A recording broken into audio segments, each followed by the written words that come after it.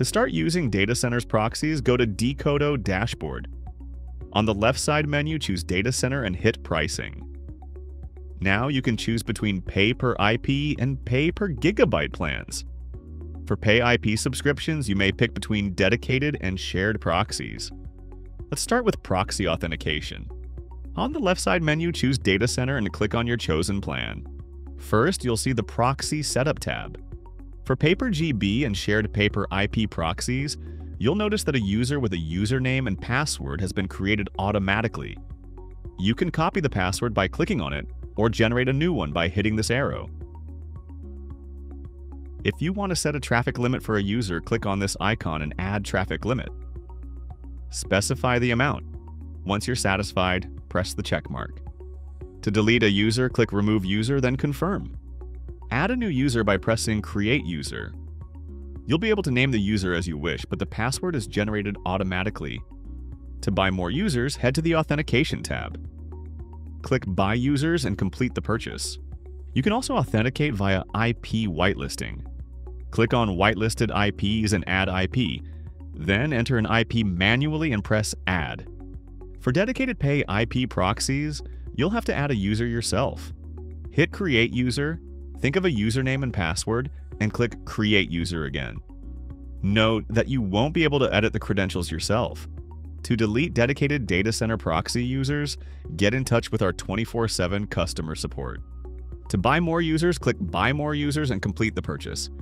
Now let's move on to proxy setup. To set up pay per gigabyte and pay per IP proxies, head back to the Proxy Setup tab.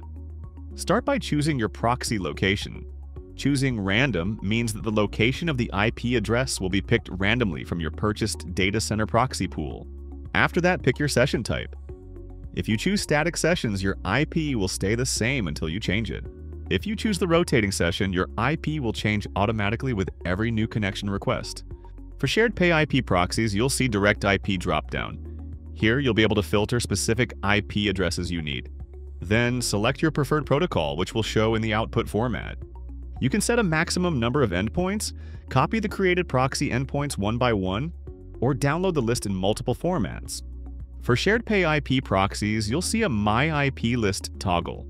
Click on it, and you'll get an IP list with all your purchased proxies and their locations. You can set a maximum number of IPs, copy them one by one, or download the list in multiple formats. Below you can see proxy integration examples in different coding languages. You may copy code snippets directly from the dashboard. You can also track used traffic by visiting the Usage Statistics tab. Here, by your chosen time period, you can check the traffic of uploads, downloads, and the number of successful requests. Finally, let's set up dedicated pay IP proxies. Start by filling in your username and password. Below, you will see your proxy list with your credentials included. Search for a specific IP using the search field. You may check the number of the IPs in the list at the bottom left. At top right side, you'll see if the IP list is sequential or non-sequential and your proxy protocol. Download the list in multiple formats or simply copy it to your clipboard. For guides on how to integrate our proxies, visit Decodo YouTube channel and documentation.